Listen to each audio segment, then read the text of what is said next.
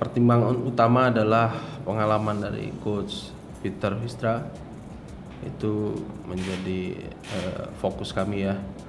Dan juga coach Peter juga bukan orang asing yang yang tidak tahu Indonesia tapi sudah pernah di Indonesia sebelumnya tahun 2015 kalau tidak salah. Dan saya pikir itu akan mempermudah adaptasi pelatih di sepak bola Indonesia karena sebagian pemain pastinya coach Peter sudah sudah memiliki uh, data ya dan mengetahui.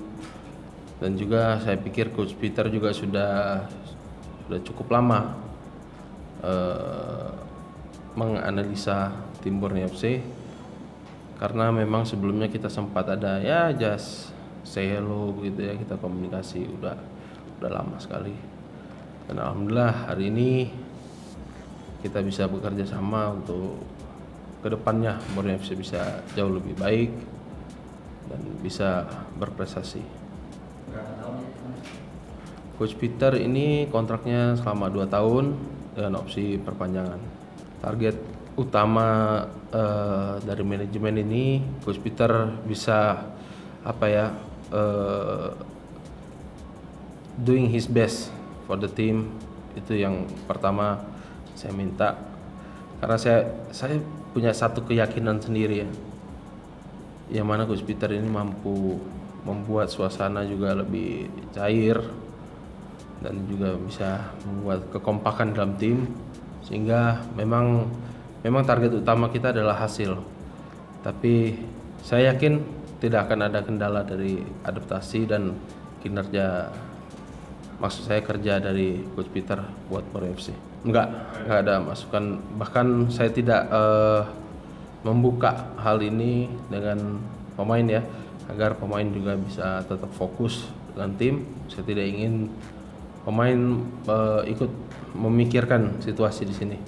Ini biar urusan manajemen aja. Saya saya pribadi jujur saya masih optimis ya.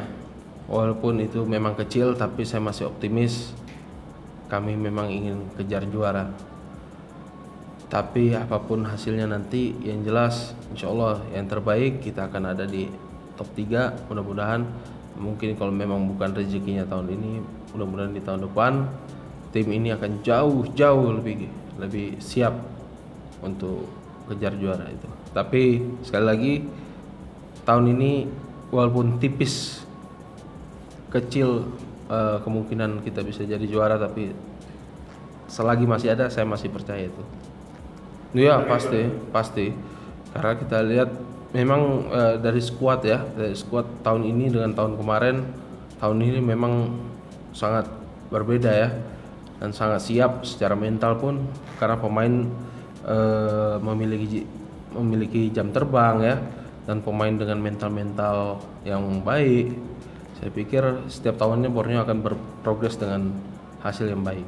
Um, as you know, I worked in Indonesia before. Um, I always had the idea, uh, the, the, the ambition to come back. I followed Indonesian football since that time, it's eight years ago. Uh, and I see now in Indonesia, I feel in Indonesia that football is growing, it's getting organized, there's a lot of ambition.